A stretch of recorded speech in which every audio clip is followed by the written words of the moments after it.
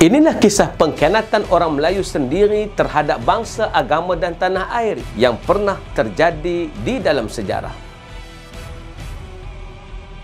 Assalamualaikum. Siapa anda dengan link di bawah menyebabkan kami upgrade dan istiqamah. Terima kasih. Dr. Hasanuddin Yusof pernah menceritakan dalam catatannya berkenaan pengkhianatan orang Melayu kepada perjuangan bangsa, agama dan negara. Ini antaranya. Pertama, semasa Portugis menyerang Melaka 1511, beberapa pembesar Kesultanan Melaka yang membocorkan rahsia pertahanan Melaka kepada Portugis, mereka juga menghulurkan bantuan-bantuan lain kepada Portugis. Kedua, ketika Sultan Iskandar Muda merancang untuk menyerang secara besar-besaran ke atas Portugis di Melaka pada tahun 1629, salah seorang menantu baginda sendiri telah membelot. Beliau secara senyap telah pergi ke Melaka untuk memberitahu Portugis tentang rancangan serangan Aceh itu. Ketiga, pada tahun 1629 itu juga ketika angkatan tentera Aceh hampir berjaya merampas kota Melaka dari Portugis di mana angkatan tentera Aceh sudah berjaya mengepung tentera Portugis yang terperangkap dalam kubu A Famosa itu selama lima bulan sehingga menyebabkan Portugis kebuluran. Namun terdapat sejumlah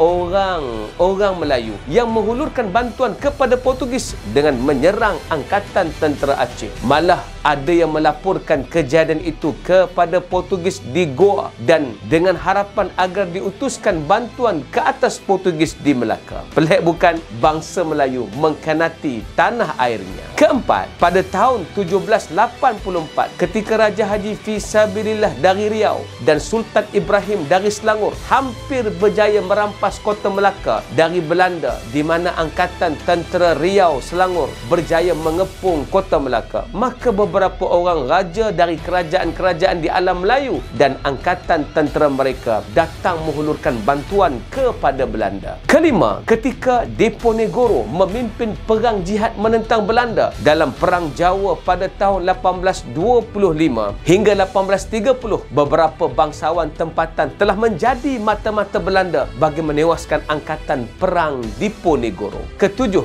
menurut At-Tarikh Salasilah Negeri Kedah, Tengku Yaakob iaitu Raja Muda Kedah bersama pengikutnya telah mengkhianati kerajaan Kedah di mana beliau dan para pengikutnya telah mengadap Raja Ligur iaitu Chow Pia Nongkon Sri Tamrat lalu membocorkan rahsia pertahanan kerajaan Kedah kepada Raja Ligur itu. Tengku Yaakob juga telah mengemukakan kepada Raja Ligur itu beberapa cara yang mudah untuk menakluki kerajaan Kedah. Oleh itu, Siam pun dapat menakluki Kedah melalui Ligur dalam Perang Kedah Siam 1821 hingga 1842. Sejarah pengkhianatan ini pasti akan berulang lagi di zaman kita ini. Para pengkhianat ini pasti sanggup membantu musuh untuk kepentingan mereka dan menghancurkan Islam. Persoalannya kini, kita ingin menjadi yang mana? Menjadi pengkhianat yang sanggup bersekongkol dengan musuh atau terus tetap istiqamah. Menjaga kekuatan kita. Jika kita istiqamah sebagai penjaga amanah, Allah akan menjaga kita. Pilihan